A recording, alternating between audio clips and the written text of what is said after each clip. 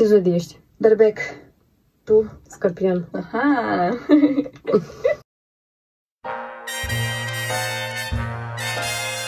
Doza de frumusețe și stil la Național FM. Acum, așa cum vă povesteam, astăzi eu am invitat alături de mine pe Cristina Pavelescu, tânăr designer, uh, ce ar mai trebui adăugat uh, la titulatura ta și uh, stilist, nu?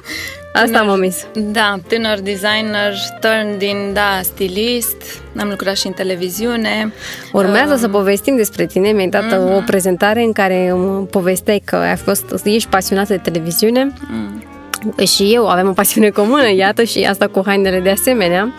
Uh, ai ajuns să lucrezi până la urmă cu Oianu, toată lumea cred că îl cunoaște pe Oianu, da. așa ți-a deschis apetitul ăsta de, pentru haine ținute și stil.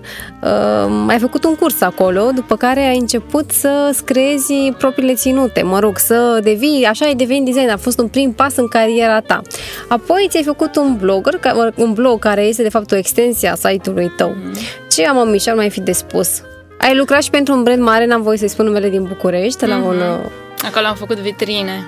Da, cumva... Acolo te-ai specializat cumva, ai fost așa un... Da, acolo practic mi-am uh, explorat creativitatea în toate direcțiile, pentru că nu aveam uh, guidelines de niciun fel la început. Vitrinele erau atunci, făcutul de vitrine nu era încă așa de la modă cum este acum și nu aveam neapărat niște scheme de cum trebuie să arate și era practic cum mi-am imaginat eu dintotdeauna exact cum am văzut vitrinele pe afară de câte ori am plecat și atunci putem să compun stil în vitrine Așa cum, adică noi aveam Cum îți doreai tu și cum aveai viziunea. Era practic exact. o libertate de a-ți manifesta creativitatea. Exact. Și pentru că este un magazin care are, nu știu, peste 100 de branduri, de la foarte mici la foarte mari, de la ieftine la scumpe. Aveam un spectru foarte larg de a mă juca practic toată ziua, că era un program fix care m-a învățat foarte multe lucruri, rigoarea unui loc de muncă în care intri și ești cu cartelă. Câți ani ai tu, Cristina? 35. Mulți înainte. Mulțumesc la fel. uh, și atunci, da, acolo a fost cumva eram, uh, ce să zic, nu, eu nici, n nici n-am visat să ajung să fac asta, adică mi se părea ceva foarte frumos, am ajuns printr-un CV pur și simplu, de pe Best Job sau ce era. Dar ți-ai dorit mai mult, până la urmă n-a fost suficient. Exact, da, da, da, da, da. De poate, adică nu poate, sigur este motivul pentru care am și plecat de acolo, pentru că nu aveam ce să fac mai mult, adică era vorba despre stil și așa mai departe, dar 5 ani mi-au fost suficienți, am trecut și prin vreo 3 echipe, câte 100 de oameni cam, pentru că am schimbat locul magazinului și atunci s-au schimbat și s-a schimbat și colectivul de fiecare dată, dar vroiam să fac mai 5 ani ai făcut asta? Asta am făcut uh, eu cu ani și când m-ai întrebat câți ani am zis, aoleu, dar uh, cred că prin 2000 am scris eu acolo în descriere. Acum vreo 8 ani, să zic. Dar câți ani ai lucrat acolo? 5. 5, ca să 5. spunem, o, o grămadă de timp, o suficient timp da, încât să suficient. îți dorești să treci la, la nivelul următor. Clar, clar, dar acolo am simțit cumva că am, am să stăpânesc foarte bine ideile pe care le aveam. Culmea este că în timpul în care lucram la magazin, în pauzele de masă de o oră, eu îmi scoteam laptopul și începeam să scriu, să în, în pauze... Articole de fashion, de, Exact, nu? pentru site. Uh, făceam poze, rugam orice coleg care era afară, ha, faceți-mi și mie o poză, era o nebunie, dar cumva chestia aia întotdeauna mă și ține așa pe, o, pe, o, pe un roller coaster efectiv întotdeauna în care îmi plăcea atât de mult ce făceam și se combina și cu jobul care era stabil și oricum făceam ce îmi plăcea. Dar în pauzele astea dimineața când ajungeam, ajungeam mai devreme, pac, îmi deschideam laptopul și în pauze când toată lumea se relaxa zicea uh, dar ce faci tu, Cristina? Dar pentru ce e asta? Dar zic, pf, îmi place să fac asta, fac asta, pentru că nimeni nu avea cumva... Practic a fost fondația ceea ce ai făcut ulterior exact. și aveai nevoie de fondație ca să treci exact. la nivelul următor. Da, și când mă întreabă lumea de ce sau a, păi aș vrea și eu să fac asta, zic apucă-te să faci asta, indiferent de ce e foarte greu cu timpul, ca să faci Așa content e. pentru internet, pentru Așa orice, din propria experiență e foarte greu cu timpul și să ai nevoie de liniște, de cadru, de context, de toate aceste da. lucruri și să știți că nu se face foarte ușor. Deloc. Da, Absolut deloc și trebuie să fii aranjată sau dacă nu ești aranjată și faci ceva despre beauty, trebuie să fii oricum să arăți bine, chiar dacă ești nearanjată și urmează să te aranjezi și trebuie cadrul să fie exemplar și foarte, foarte frumos totuși și foarte bine pus la punct, mai multă muncă decât se vede sau se gândește dincolo da. de ecran. Dar cumva presiunea asta m-a ținut întotdeauna să fac lucrurile cât mai bine, adică am un timp, am o oră, păi în ora aia mă concentrez Adică adrenalina aia pe care foarte tu bine, ți-o dar pe mine mă dădea, ajută. te da, motiva. Da, da. Cum te descrii tu în câteva cuvinte? Ah, ah, când Știm am- că ești berbec, asta am Da. întrebat înainte, să știți.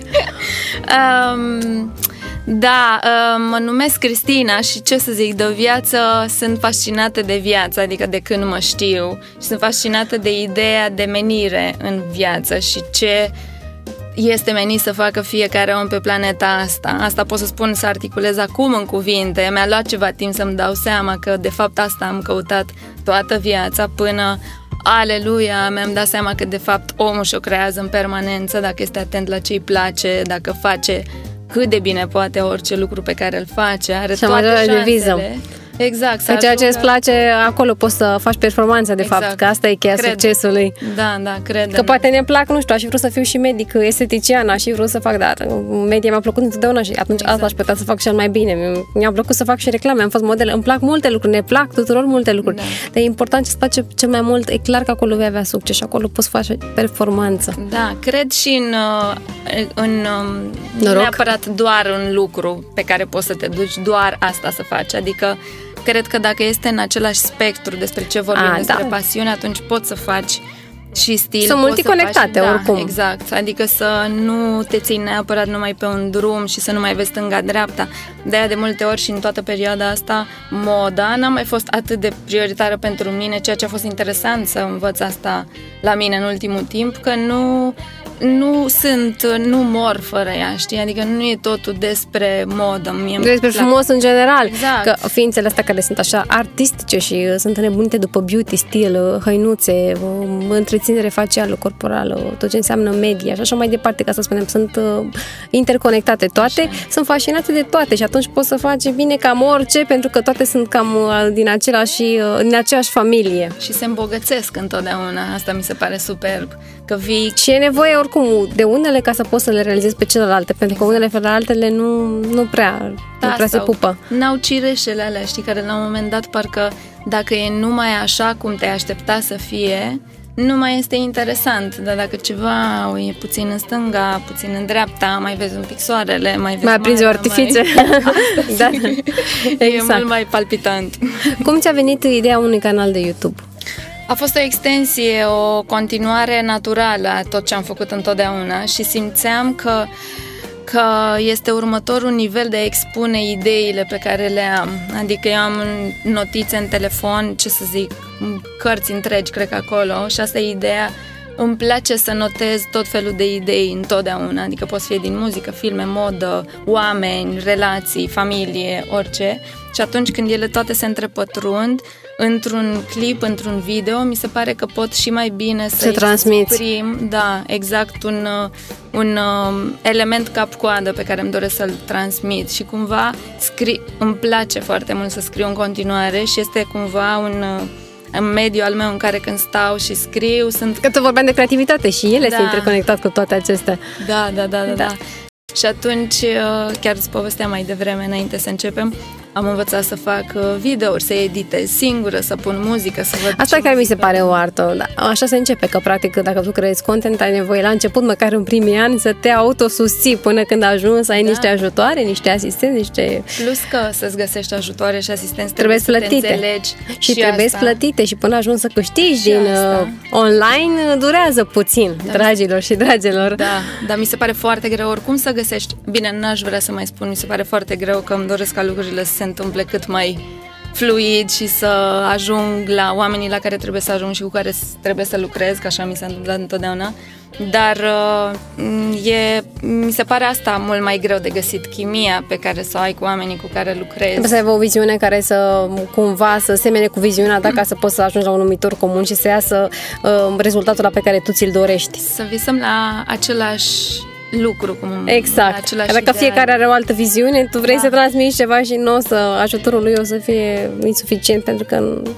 Da, așa se întâmplă când sunt mai mulți oameni și au viziuni diferite, lucrurile nu funcționează așa cum ar trebui. Întocmai Da, dar e și interesant când vizi- viziunea altuia te influențează într-un mod în care poate să-ți aducă un plus și atunci e și mai bine. Adică da, se poate întâmpla ideal. și asta dacă ești norocos, exact. se poate întâmpla. Da. Uh, de ce stil ți se potrivește? Azi vorbim despre stil, despre pasiunea asta, despre modă, haine, despre frumos în general. Ce, ce stil ai spune tu că ți se potrivește?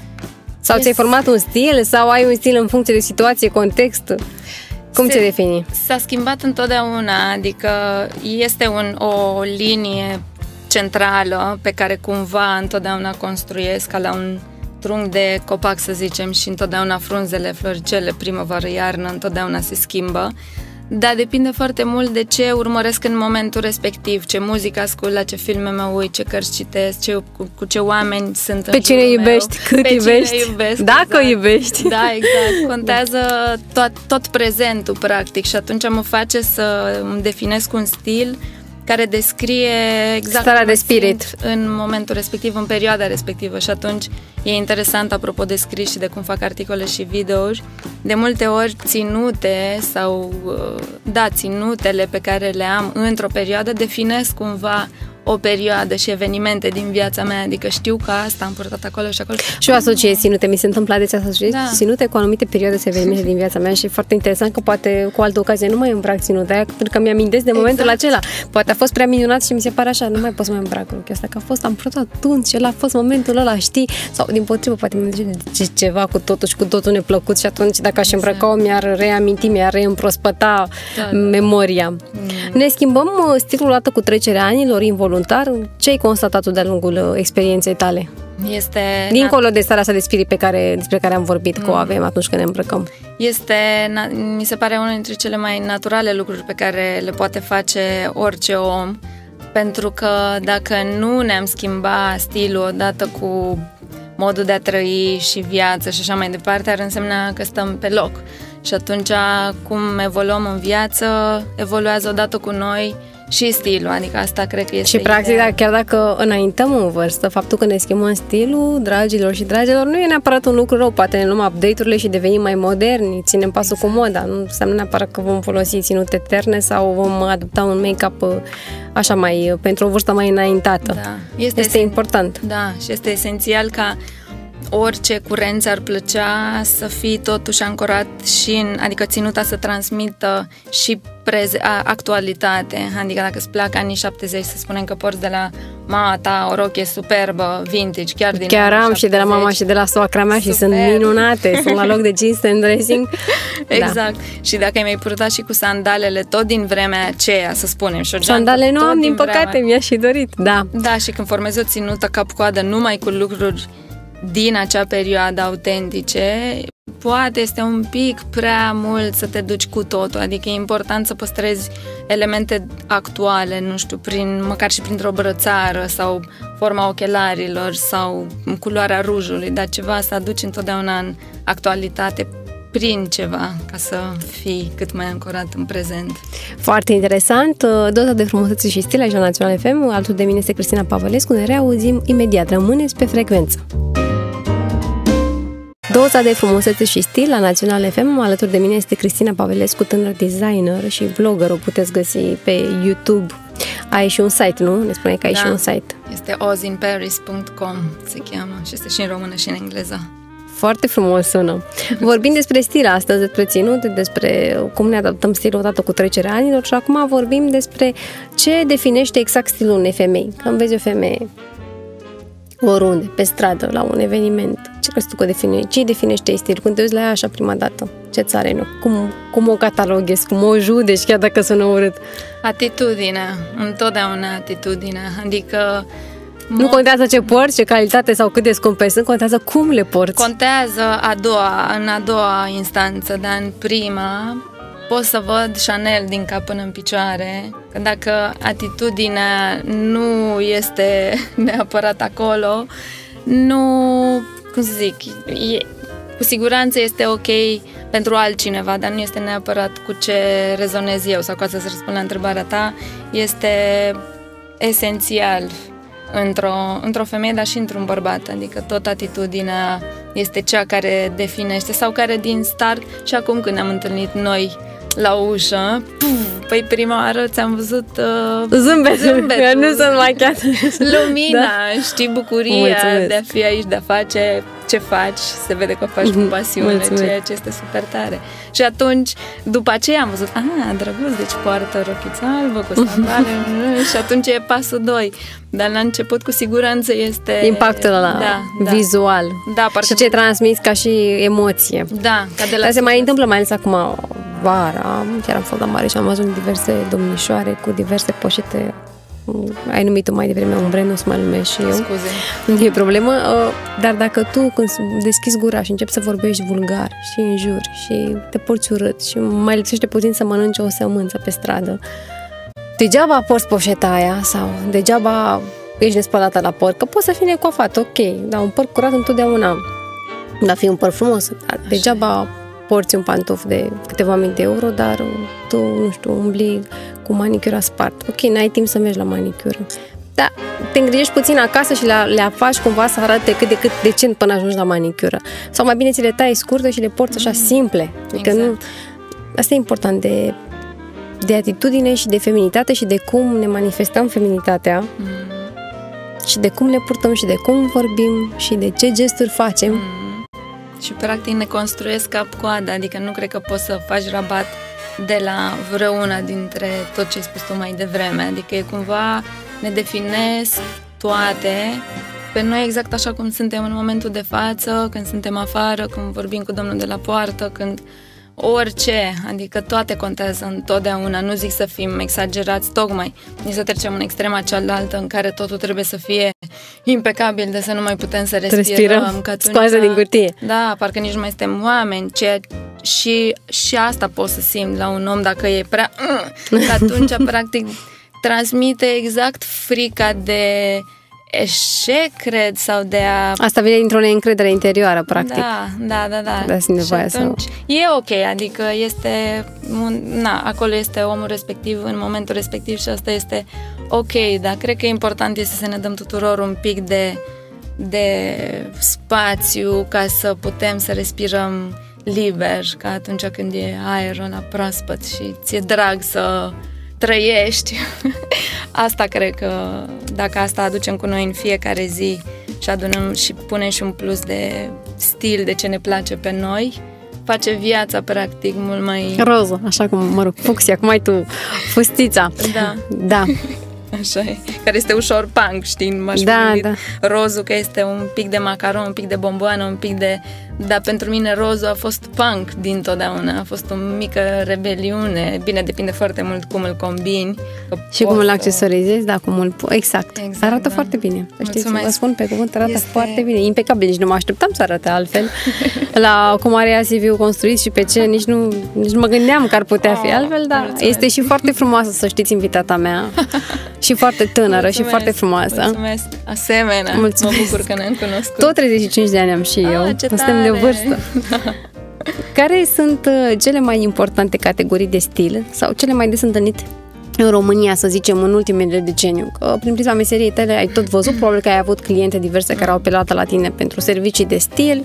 Multe nu-și găsesc singure stil, au nevoie de îndrumători și nu e un lucru rău neapărat, e un lucru foarte bun că atunci când ne pricepem la ceva sau nu suntem pasionați de haine, apelăm la da. specialiști. Da. Care sunt stilurile pe care le-ai întâlnit tu cel mai des? Ce crezi tu că caracterizează ca și stil femeia din ultimii 10 ani? Ca să se răspund direct la întrebare, cred că este destul de, poate mult prea clasic de multe ori dacă ne referim chiar la toate femeile pe care le Da, vorbim în general acum. Da. Um, adică, cred că există un oarecare soi de teamă de a Ex- ieși un pic din acel clasic uh, din totdeauna. De, de a experimenta, că da. trebuie curaj și pentru asta. Da, bine, îmi dau seama că până să ajungi acolo este oricum un drum destul de lung și îmi dau seama că nu toată lumea poate să fie atent la el, deși eu cred că nu contează nici cu ce te ocupi, nici unde stai, nici cu cine ești, nimic practic înaintea ta, adică tu poți să ai grijă de tine în fiecare zi, măcar 5 minute ca să-ți dai seama dacă îți place ceva anume mai mult decât, eu știu, o rochie simplă neagră în fiecare zi sau blomarin purtată la serviciu sau mă refer chiar la toată lumea. Se întâmplă să intrăm așa într-un soi de rutină, ca într-un mm. șablon atunci când lucrăm la birou. Dacă ne luăm, am lucrat și eu și să spun, cu program fix la birou, intrăm într-un soi de rutină în care optăm pentru rochie sau un costum sau rochia conică, până la genunchi, mm. cu un sacou și schimbăm așa multe culori, deschidem dressing și dimineața pe asta mi-au roz, galben, albastră, verde.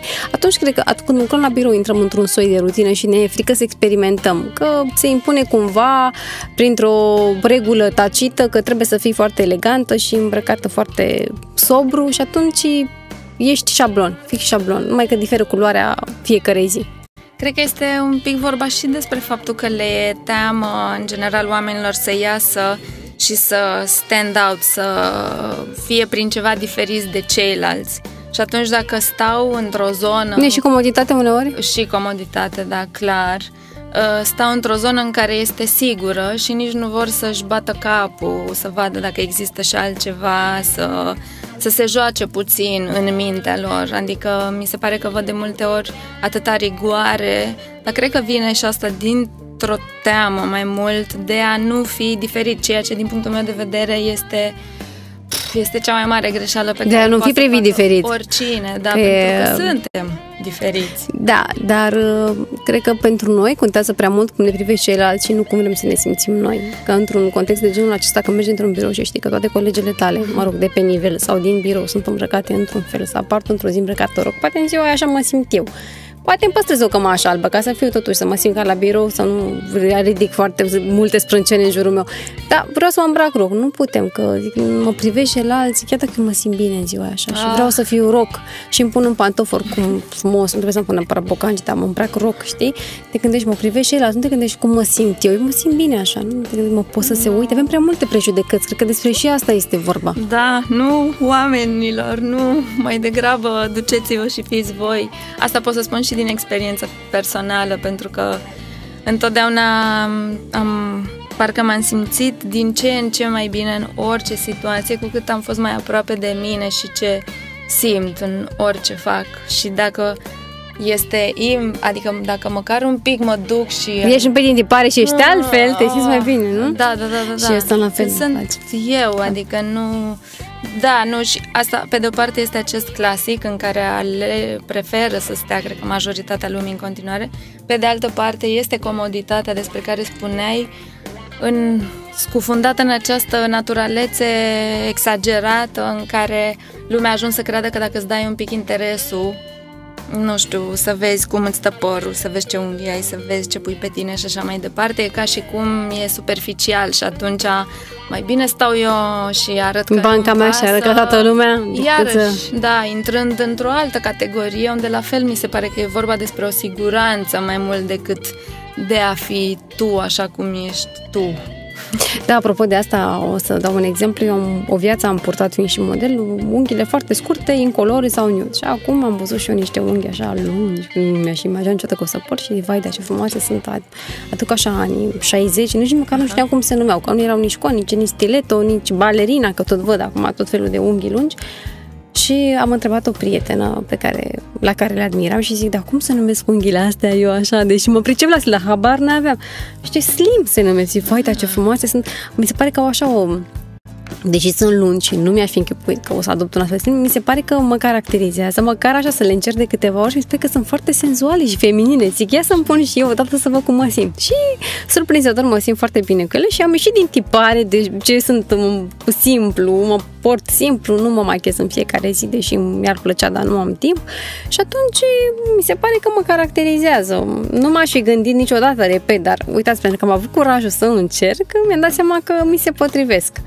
Să știi că și eu da. exact asta am în perioada. De o viață portam unghiile foarte și scurte sau scurte, de viață. și eu la fel. Și mi le tăiam, niciodată n-am fost la manicură, mereu mi le-am făcut singură și mi le tăiam până în, ce să zic, cât de scurte puteam, maxim dădeam un uh, lac sau, bine, și oja mi-a plăcut, dar de vreo pf, jumătate de an încoace, nu știu de ce și eu simt același deci, lucru, să încerci. că parcă îmi place, nu știu, e altă senzație, parcă sunt așa, mâinile un pic mai, mai feminine, da, da, da. deși nu mi-aș fi imaginat da, da. niciodată. Și mai ales și date acum eu sunt cu o oja portocalie, tu cu o ojă o roșie. roșie. Ca să fie treaba treaba, am zis, dacă tot încercăm să fie treaba treaba. Și mă bucură, știi, când mă mai surprind în vreo oglindă sau eu știu. Te vezi colorate. Da, și Asta o stare de bine. Mm-hmm. Chiar da. Da, da, da. da. Și ultima întrebare, de ce crezi că less is more? A, tot auzim celebra.